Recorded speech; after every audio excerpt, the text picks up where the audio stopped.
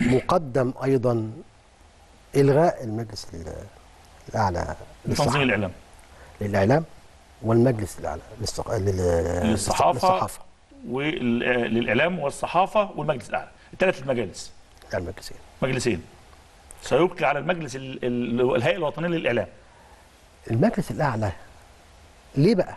مم. قول لي ليه؟ الحكمة إيه؟ الحكمة آه. إيه؟ مش اتفقنا إن ال- التعديلات دي كل حاجة ليها؟ ليها حكمة وليها ليه مبرر مبرر؟ آه. وليها أسباب ودواعي. صحيح. اتعمل مشروعات الق- القوانين دي اللي بتنظم الإعلام وتنظم آه. الصحافه إلا إني مش شايفين كنواب قدمت التعديلات. إن المجالس دي يعني نهضت بدورها كما يجب أن تكون.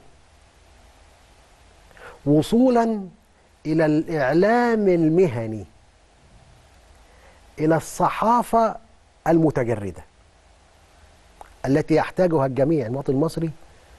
ممكن يثقف عن طريق الإعلام والصحافة وممكن يضلل عن طريق الإعلام والصحافة.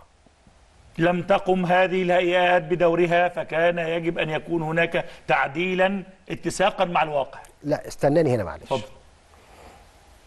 الكلام ده موجود. في مقدم في التعديل إلغاء المجلس ده والمجلس ده. صحافة وإعلام. لكن في مداولة. آه.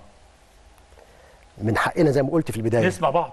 المجلس يوافق على كل حاجة أو يرفض كل حاجة أو يعدل. المجلس ده المجلسين دول أو التعديلين دول يحتاجوا إلى مداولة. آه. وأنا يعني إن سمحتي لي أقول لك بتميل إلى إيه؟ بميل في المداولة دي إلى إحنا نبقى متريثين آه. لا نرى لا نرى لا نرى لا ننظر فقط إلى إيه؟ الكوب الفارغ أو الجزء الفارغ من الكوب. مم. لكن نشوفه نقيمه إزاي ونقومه إزاي. ويبقى إمكانية يبقى م- مطروح حديث فيه في المجلس. مع المختصين. يبقى الحديث فيه نبقي ولا نلغي. آه. أنا عندي ثلاث مجالس حضرتك قلت لي اثنين عندي ثلاث مجالس. عندي المجلس الأعلى لتنظيم الإعلام. وعندي الهيئة الوطنية للصحافة والهيئة الوطنية للإعلام. إيه المطروح إنه هيتلغي؟ هيئتين. هيئتين. المجلس الأعلى للإعلام؟ مجلس الهيئة الهيئة والهيئة. الهيئتين الاثنين بس. طب والمجلس الأعلى؟ لا. لا. يبقى اللي هو بيقوم بدور وزير الإعلام. ماشي. ده هنبقي عليه ولا ممكن يعمل وزير إعلام؟ ما أنا ولا ملهاش علاقة بالدستور؟ لا يا فندم لا. دي مالهاش علاقة. بس أنت لو عملت كده هترجع لوزير إعلام؟